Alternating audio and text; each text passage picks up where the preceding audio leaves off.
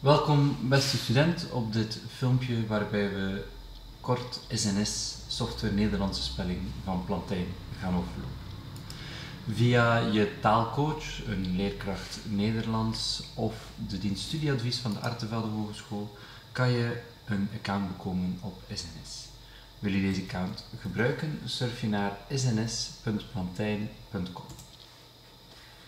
We werken meestal met SNS Basis, sommige docenten werken ook met SNS Plus.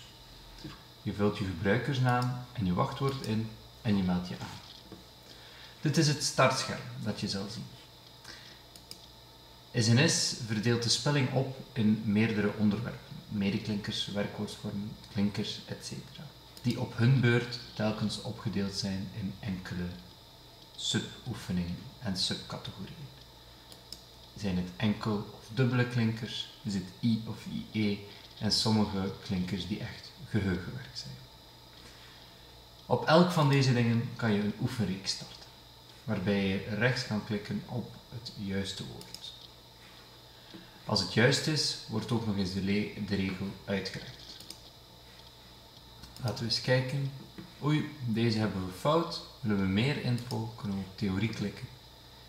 En dan krijg je ook alle regels. De regel van de fout wordt ook nog eens onderaan herhaald. Zo kan je alle oefeningen doorlopen. Wat heel interessant is aan SNS, is dat je bij oefenen ook telkens een diagnoseoefening hebt. Bijvoorbeeld rond de medeklinkers, rond de werkwoordsvormen, tussenletters. We raden aan om al deze diagnoses te overlopen. Als je ze doorlopen hebt, zal je dit krijgen. De vragenlijst werd doorlopen en dan krijg je een rapport waarbij je de behaalde score ziet. Ik heb hier maar één gemaakt en ik had hier dan nog eens fout. En hij zegt ook telkens de regel.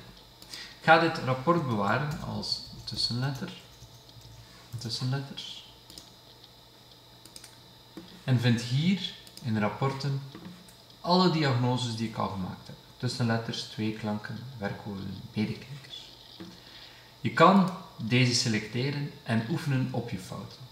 Wat je ook kan doen, is meerdere selecteren en oefenen op je fouten. SNS genereert nu een grote oefenreeks waarbij je enkel oefent op de dingen die jij niet zo goed kan. Als je dit voldoende doorlopen hebt, kan je terug de diagnoses doen, terug de rapporten opslaan, die terug selecteren en verder oefenen op je fouten. Normaal gaan er dan al enkele fouten geremedieerd zijn, waarop je dus niet meer moet oefenen. We raden je aan om in het begin toch een 10-15 minuten actief op de website te zitten. We merken dat studenten die deze tijd gebruiken, er ook actief mee aan de slag gaan doorheen de rest van het semester. En dan natuurlijk ook betere resultaten halen. We wensen je veel succes. Het is goede software en gebruik hem dus ook.